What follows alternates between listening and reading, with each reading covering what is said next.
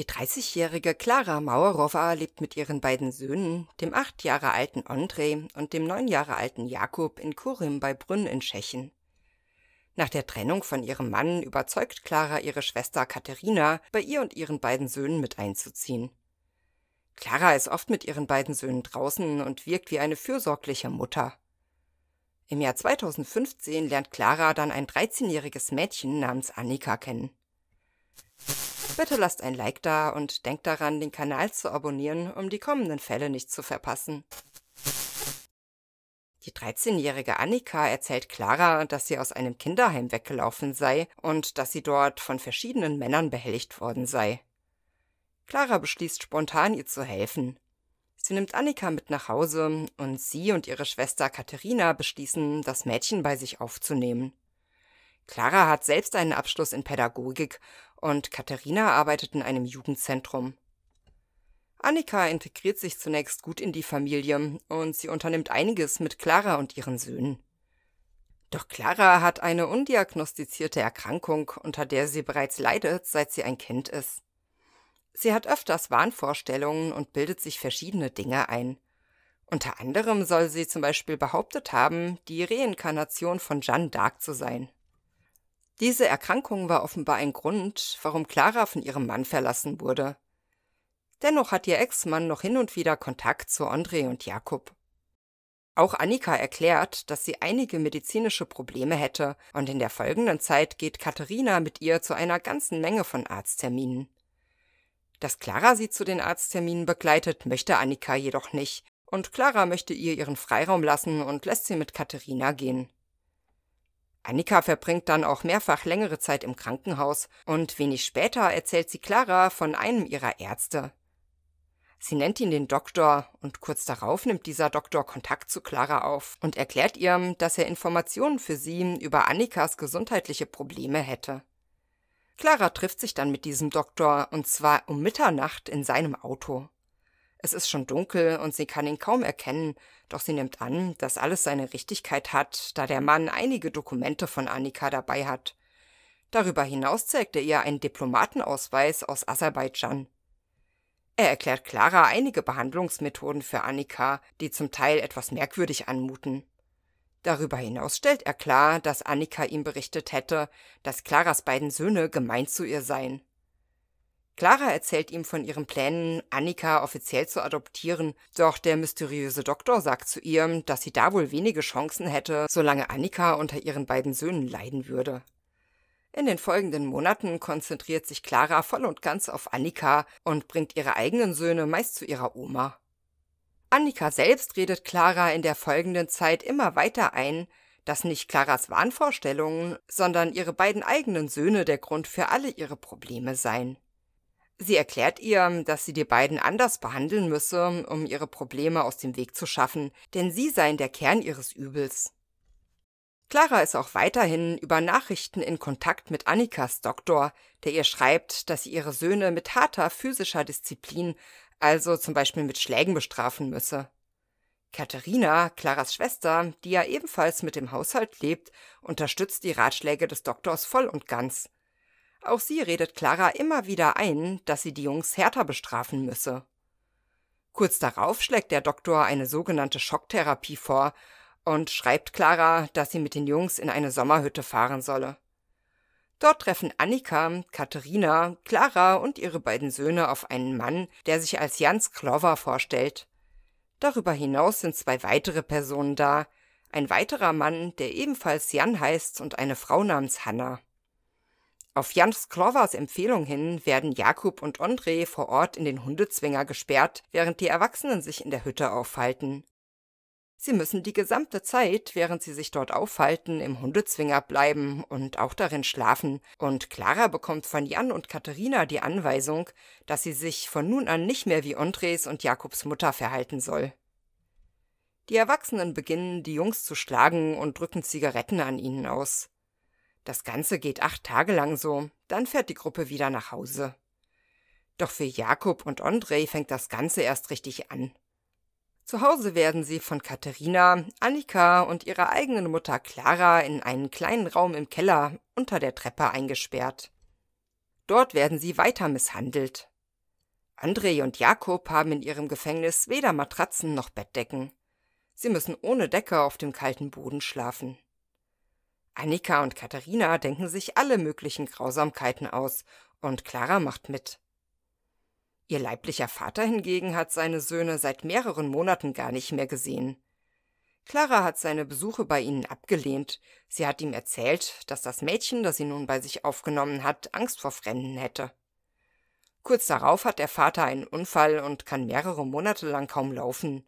So entgeht ihm, was im Haus seiner Ex-Frau vor sich geht. Nach und nach vertauschen sich die Rollen zwischen Clara und Annika. Annika benimmt sich überhaupt nicht wie ein Kind, sondern redet ständig auf Clara ein und erklärt ihr, was sie alles machen müsse. Clara sagt später aus, dass sie Angst gehabt hätte, die Liebe von Annika zu verlieren und hätte deswegen mitgemacht. Wieder drücken sie Zigaretten an Claras Söhnen aus und versetzen ihnen Stromschläge mit Elektroschockern. Sie verprügeln sie oder drücken ihre Köpfe unter Wasser. Manchmal werden sie mit Handschellen an einen Tisch gekettet, wo sie stundenlang stehen müssen. Damit sie auch aus anderen Räumen heraus die Taten an den Jungs verfolgen können, installiert Clara schließlich einen Babymonitor.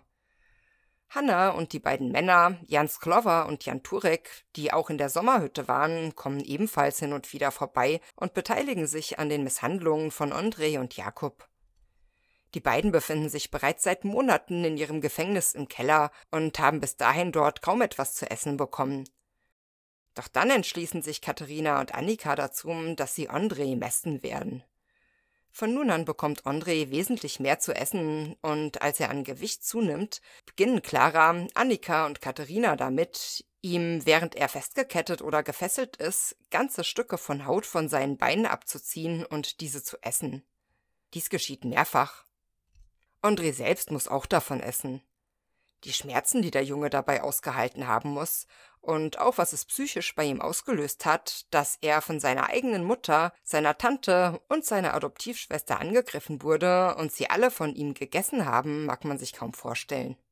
Anschließend wird der Junge jedes Mal wieder im Keller eingesperrt und dort sich selbst überlassen. Jakob verbringt ebenfalls die meiste Zeit noch im Kellerraum, er darf aber hin und wieder gefesselt im Haus sein. Währenddessen verbringt Annika ihre Zeit in einem schön eingerichteten Kinderzimmer und sie nennt Clara inzwischen ihre Mutter. Über ein Jahr, nachdem André und Jakob ursprünglich im Keller eingesperrt wurden, bekommen die Nachbarn von Clara ein Baby. Sie kaufen sich zufällig das gleiche Modell des Babymonitors, das auch Clara im Keller bei den Jungs installiert hat. Nachdem der Mann der Nachbarin den Monitor installiert hat und ihn einschaltet, sieht er eine unscharfe Aufnahme eines Jungen, der gefesselt ist und keine Kleidung anhat. Er kann kaum glauben, was er sieht, und er weiß, dass das fremde Signal von irgendwo aus der unmittelbaren Nachbarschaft kommen muss. Er ruft sofort die Polizei an. Als sie eintrifft und bei den Mauerrovers klingelt, beginnt Annika sofort laut zu weinen und nach ihrer Mutter zu rufen. Jakob und André werden endlich von der Polizei aus ihrem Gefängnis im Keller befreit und Clara und Katharina werden festgenommen. Annika, André und Jakob kommen in ein Kinderheim. Dort redet ein Psychologe mit den dreien. Er ist völlig entsetzt von den Dingen, die André und Jakob ihm berichten. Sie erklären ihm, dass sie alle die schrecklichen Dinge ertragen mussten, da sie sich daneben benommen hätten. Der Psychiater vermerkt allerdings auch in seinem Bericht, dass die Jungs nach ihrer Befreiung relativ gefasst gewirkt hätten. Annika hingegen nicht. Sie sei völlig außer sich gewesen und hätte verwirrt gewirkt. Sie hätte Geschichten von mehreren Männern erzählt, in deren Gewalt sie gewesen sei. Dies hatte sie damals ja auch Clara erzählt, als sie von ihr aufgenommen wurde. Darüber hinaus notiert der Psychiater ebenfalls, dass Annika auf ihn älter wirkte als 13 Jahre. Bei einer ärztlichen Untersuchung wurde festgestellt, dass Annika im Gegensatz zu André und Jakob, die am ganzen Körper Narben und Brandnarben haben, keinerlei Verletzungen hatte, obwohl sie ebenfalls von Gewalt ihr gegenüber berichtet hatte. Nach nur zwei Tagen verschwindet Annika dann plötzlich spurlos aus dem Kinderheim. Zunächst machen sich alle Gedanken. Die Behörden nehmen zu dieser Zeit noch an, dass auch Annika im Haushalt der Mauerowers Opfer von Gewalt geworden ist. Clara hatte bei der Polizei ausgesagt, dass Annika als Baby am Haus ihrer Großmutter ausgesetzt wurde und dass sie sie aufgenommen hätte. Nach dem Tod ihrer Großmutter hätte sie Annika dann in ihr eigenes Haus geholt. Dass sie Annika in Wirklichkeit erst ein Jahr zuvor kennengelernt hat und dass sie in ihrem Haushalt mehr oder weniger das Sagen hatte, erwähnt sie vorerst nicht. Für die Polizei ist Annika ein Rätsel. Es gibt keinerlei Unterlagen von ihr, die älter als ein Jahr sind, und darüber, dass sie zuvor bei Claras Großmutter gelebt haben soll, gibt es auch keinerlei Nachweise. Die ehemaligen Nachbarn der Großmutter sagen, dass sie dort nie ein Kind gesehen hätte. Die Polizei stellt also weitere umfangreiche Ermittlungen zu Annikas Identität an und findet dann schließlich heraus, wer sie wirklich ist. Ihr ganzes Leben ist eine Lüge, und was die Polizei aufgedeckt hat, ist unglaublich. Annikas wirklicher Name ist Barbara Skrolova und sie ist nicht 13, sondern 32 Jahre alt. Barbara wurde im Jahr 1974 in Brünn in Tschechien geboren. Sie hat eine Ausbildung als Musiktherapeutin und hat als Komponistin bereits mehrere Preise erhalten. Aufgrund einer Erkrankung namens Hypopituitarismus, die von der Hirnanhangdrüse ausgelöst wird, sieht sie optisch jünger aus und ist nicht so groß wie die meisten anderen Erwachsenen. So hat sie sich erfolgreich als die 13-jährige Annika ausgeben können und sich in Claras Familie eingeschlichen. Barbaras Vater ist der Anführer einer religiösen Gemeinschaft, die sich die Bewegung des Grals nennt. Ob der Glaube und die Lehren dieser Gemeinschaft damit zu tun hatten, dass Barbara Clara dazu angehalten hatte, ihre Söhne einzusperren und zu misshandeln, konnte nie eindeutig geklärt werden. Jedenfalls hatte Barbara sich kurz nach dem Einzug bei den Maurovers Claras Schwester Katharina anvertraut. Das heißt, Katharina wusste, dass eine erwachsene Frau bei ihnen im Haushalt lebt. Um dies vor ihrer Schwester Clara geheim zu halten, hätte Katharina Barbara zu ihren angeblichen Arztterminen begleitet. Katharina, die also in Barbaras Geheimnisse eingeweiht war, ist dann auch in die Religionsgemeinschaft ihres Vaters eingetreten. Darüber hinaus sind die drei Personen, die sich mit den Mauerovers in der Sommerhütte getroffen hatten, ebenfalls Mitglieder dieser Gemeinschaft. Einer von ihnen, Jans Klover, ist der Bruder von Barbara. Auch er sowie der andere Mann, der ebenfalls Jan heißt, und die Frau namens Hanna werden festgenommen. Ob der Vater von Barbara, also der Anführer der Religionsgemeinschaft, ebenfalls in die ganze Sache verwickelt war, ist nicht sicher. Es wird allerdings stark angenommen, dass er der mysteriöse Doktor war, der Clara immer wieder Anweisungen gegeben hat. Clara hatte ihn ja nur einmal im Dunkeln gesehen und kann ihn nicht beschreiben. Doch der Doktor hatte ihr ja einen Diplomatenausweis aus Aserbaidschan gezeigt. Barbaras Vater ist zwar nicht aus Aserbaidschan, doch er hatte einige geschäftliche Beziehungen dorthin. Bei Clara wurde nach ihrer Festnahme Schizophrenie festgestellt, so ist nun auch klar, unter welcher Erkrankung sie bereits seit ihrer Kindheit gelitten hatte. Nachdem dies alles aufgedeckt wurde, also wie alt Annika, nun bekannt unter ihrem richtigen Namen Barbara, wirklich ist und dass sie entscheidend dafür, was im Haus der Maurovas vorgefallen ist, mitverantwortlich ist, beginnt natürlich sofort eine Fahndung nach ihr. Doch Barbara hat das Land längst verlassen.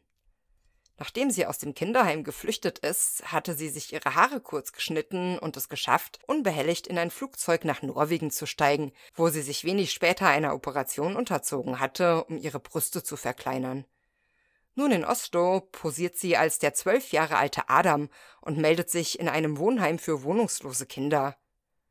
Dort wird sie aufgenommen und kurz darauf von einem Paar in Pflege genommen, das keine Zweifel daran hat, dass sie ein zwölf Jahre alter Junge ist. Monatelang trickst sie dort ihre Pflegeeltern, Lehrer und Sozialarbeiter aus, bevor sie schließlich auffliegt. Die Behörden haben schließlich herausbekommen, wer sie wirklich ist, und sie wird endlich zu ihrem Gerichtsprozess nach Tschechien ausgeliefert. Für ihre Betrügereien und die Misshandlungen von Claras Söhnen erhält sie eine Gefängnisstrafe von fünf Jahren. Clara Mauerowa erhält eine Haftstrafe von neun Jahren und ihre Schwester Katharina erhält eine zehnjährige Strafe. Die drei Mittäter, Hanna, Jan Sklover und Jan Turek, erhalten Haftstrafen zwischen fünf und sieben Jahren. André und Jakob sind nach Abschluss der polizeilichen Ermittlungen kurzzeitig zu ihrem Vater gezogen, der das Sorgerecht für sie erhalten hatte. Doch irgendwie hat dies nicht geklappt, möglicherweise wegen der neuen Freundin ihres Vaters. Er gibt das Sorgerecht der Jungs an die Großeltern, also an Claras Eltern ab. Nachdem André und Jakob also zu ihren Großeltern gezogen sind, hat ihr Vater bereits nach kurzer Zeit wieder komplett den Kontakt zu ihnen abgebrochen. Auf Veranlassung ihrer Großeltern haben Jakob und André dann wieder Kontakt zu ihrer Mutter aufgenommen und sie regelmäßig im Gefängnis besucht. Für die beiden Jungen also nicht wirklich ein Happy End. Clara, Katharina und auch Barbara sind alle bereits nach etwa der Hälfte ihrer Haftstrafe auf Bewährung entlassen worden. Barbara lebt weiterhin, inzwischen offiziell als erwachsene Frau in Tschechien. Sie ist die wahre Inspiration für den Film Orphan gewesen. Was sagt ihr zu diesem wahnsinnigen Fall? Das einzig Gute, was man dazu sagen kann, ist wohl, dass es zum Glück keine Todesopfer gegeben hat. Ich bin aber natürlich sehr gespannt auf eure Meinungen dazu. Lasst mir wie immer gerne einen Kommentar unten. Denkt auch daran, dem Video einen Daumen hoch dazulassen, wenn es euch gefallen hat. Aktiviert auch noch die Glocke, denn dadurch werden euch meine neuen Videos meist vorgeschlagen. Falls ihr Lust auf noch mehr Kriminalfälle habt, schaut mal auf meinem Patreon vorbei oder denkt über eine Kanalmitgliedschaft nach. Vielen Dank fürs Anschauen. Bis gleich.